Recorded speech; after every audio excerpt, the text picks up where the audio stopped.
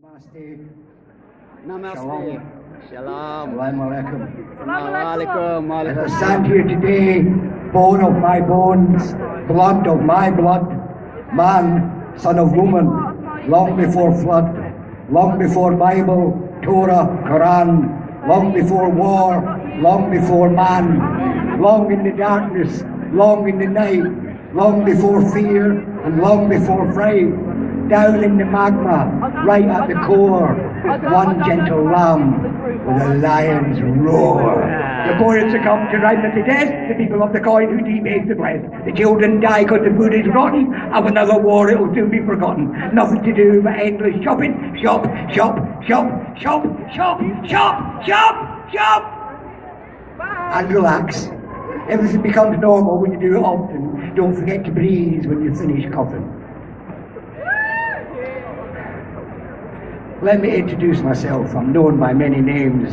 Some of them unprintable and some of them just strange. I get called Jesus, Moses, Manson. I was even called Mystic Meg by two kids on a mountain bike coming down through Little London late at night. But let me introduce myself. I'm known by many names. Some of them unprintable and some of them just strange. I'm just a man in a baggy pants standing in front of a microphone and begin to run and run about animals and plants and I never recant the state of the nation, the state of this vibration. I smoke up Mother Earth's education. It feeds our imagination. Next station, next station. Mind the gap, mind the gap. Get a slap of reality. Truth on the run, chicken in a bun. We're all been stuck at the bottom of a rung at the bottom of a precipice shield with no bottom. We've all but forgotten how it was before. The slamming up your door can never shut this out. Conscious lyric I spout. I've no doubt what this is about. Rhyme without reason is the highest of treason. Consciousness raising is the only vocation without any explanation. Hello, my name's Johnny. I'm here just for the afternoon. The Minister for Murder stated today that the minister's feet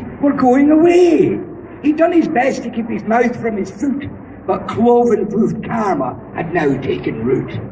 The sheep and the cows and the things with split feet were no longer edible with Frankenstein meat. The pigs and the poultry were no longer game, and the fish in the ocean were partly to blame. The stuff in the water and the gas in the air were daily mutating in deadly despair. The eggs and the milk and the modified crops, the pre-packaged poison from takeaway shops. To be sat at the head of a toxic food chain while feeding our babies on cow's spongy brain could be deemed to be foolish or downright unwise, said the newly departing Minister for Lies. Well, you are what you eat, and that's no mistake. The animal's flesh will make your heart break. The things that you drink and the things that you chew will one day return to crucify you.